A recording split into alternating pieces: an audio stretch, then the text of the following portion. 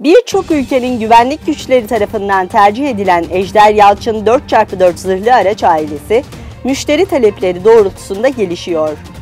Türk savunma sanayisinin zırhlı kara aracı üreticilerinden Nurol Makina'nın geliştirdiği Ejder Yalçın 4x4, Türkiye'nin yanı sıra Orta Doğu, Afrika, Orta Asya ve Doğu Avrupa'daki bir dizi ülkede başarıyla görev yapıyor.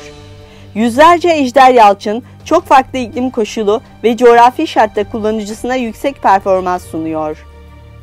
Ejder Yalçın 4x4 ilk tasarım aşamasından itibaren çok rollü bir araç olarak tasarlanırken yüksek performansı ve yük taşıma kapasitesi sayesinde çok farklı görevler ve görev yükleri için ortak bir askeri platform oluşturuyor.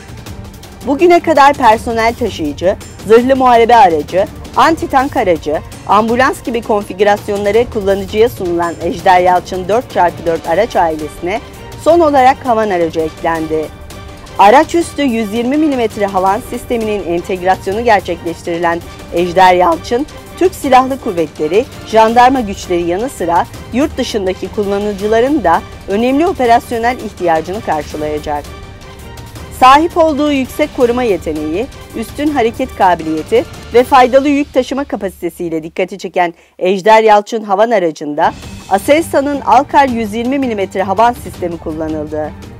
Ejder Yalçın havan aracı kalifikasyon testleri başarıyla tamamlandı.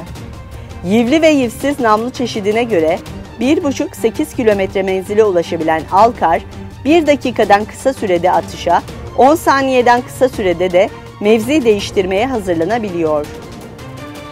Alkar'da mermi namluya otomatik yükleniyor, gelişmiş hızlı ve hassas elektromekanik taret sistemiyle namlu 360 derece dönebiliyor, yüksek namlu açılarında atış yapabiliyor.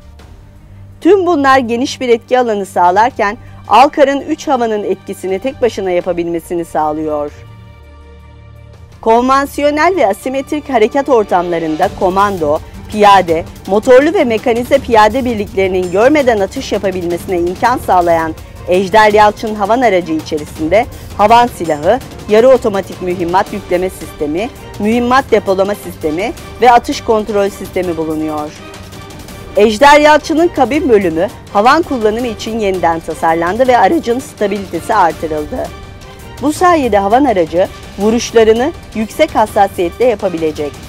Ejder Yalçın havan aracı her türlü arazide sahip olduğu yüksek hareket kabiliyetiyle atış sonrasında süratle ve emniyetle yer değiştirebiliyor. Böylece aracın düşman unsurlar tarafından tespit edilmesi zorlaşıyor.